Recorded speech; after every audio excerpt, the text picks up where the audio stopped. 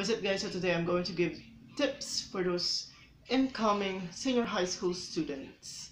So let's go to the video.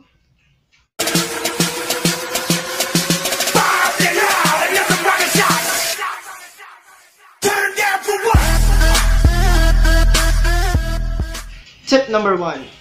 Reflect on your senior high school track and strand choice. You're not alone in this dilemma.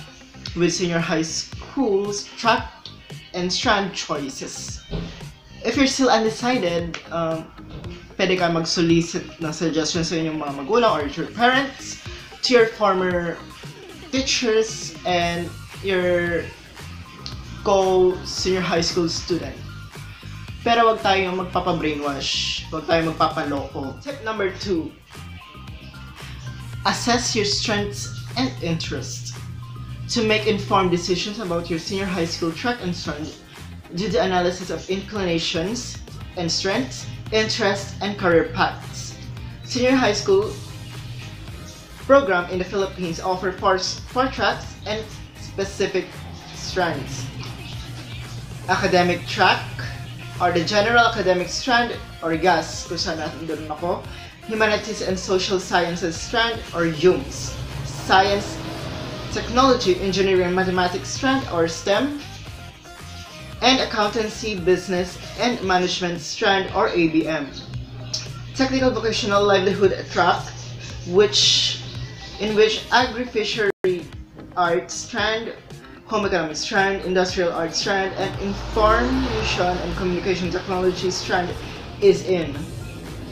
Sports track, and Arts and Design track.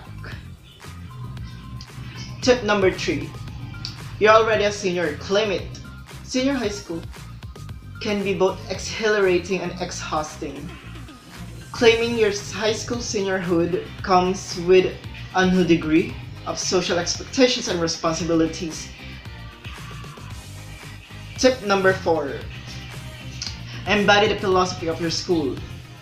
So as soon as you enroll yourself in the school of your choice, you embrace a new family. Sounds a cliche. You will be asked to memorize and embody the mission and vision statement of the school. Tip number five. Introduce yourself, your skills, and your potentials. You do not need you don't need to stand out, but keep a showcase of your own brand or your brand. Introducing yourself, skills, and potentials to the people around to the people around attracts opportunities for you to grow more. Tip number six. Focus on long-term learning outcomes. When you focus on long-term learning outcomes, you gather more or you gather the major pieces of the puzzle and see the big the bigger picture of your goal. Direct all your learning efforts to your career, career path, and not just your to your academic ends. Tip number seven is remind yourself about grading system and academic standing. Keeping track of academic stand Keeping track of academic standing and aware of grading system will help you strate strategize your studies and save your voucher in case na may voucher kayo. Then, with a conscious effort, you can you can uh, overcome your water waterloos and take inclination to the next levels.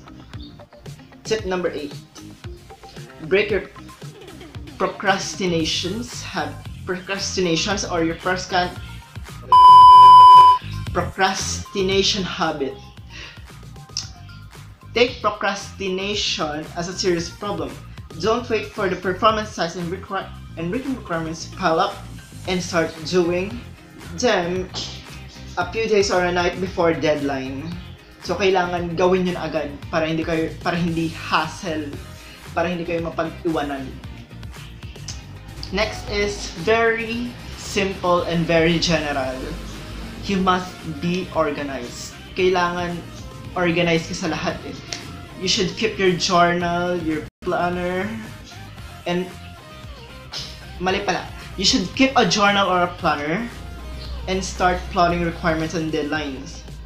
So parang pag may mga binibigay sa iyo yung teacher or yung professors nyo, dapat tinatago nyo yung mga re- kasi requirements yun.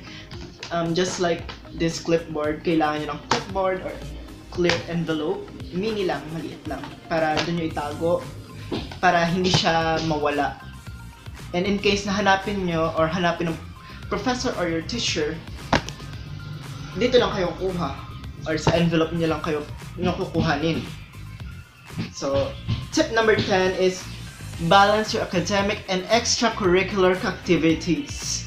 Extracurricular activities are the significant part of senior high school holistic learning experience.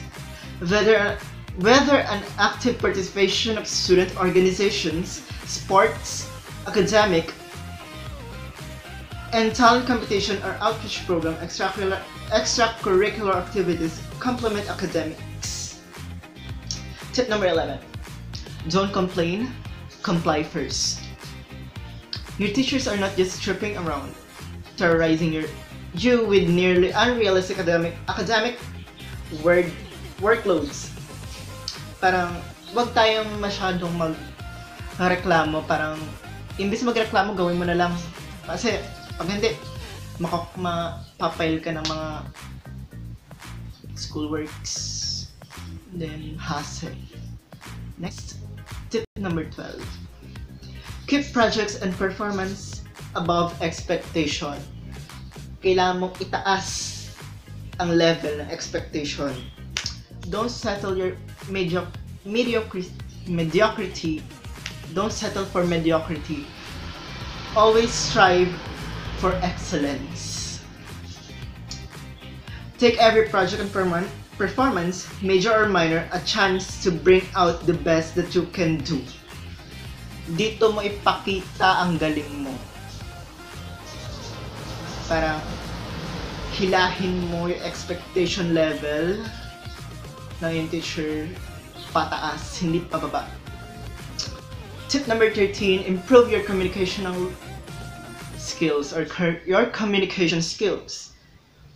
Para ma, ma dapat marunong kang makihalubilo sa iba. Dapat you should be socializing with others so para hindi ka masyadong nervyos nervyoso um, ganun yun.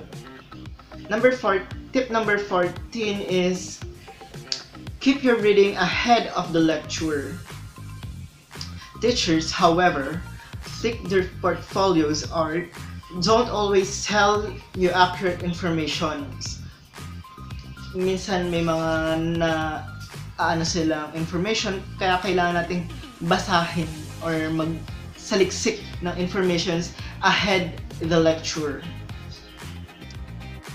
Tip number 15, always listen and focus on meaning. Dapat, ba said kanina, you must improve your communication skill, but keep your mouth connected to your ears.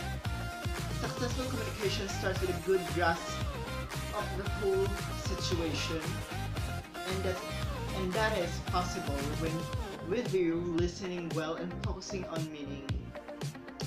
Tip number 16, don't be afraid or don't be scared to ask questions. Huwag tayo may hiya magtanong kasi pag na, ano, may mapapagawa ka na naman. Tip number 17 is build an open communication with your parents.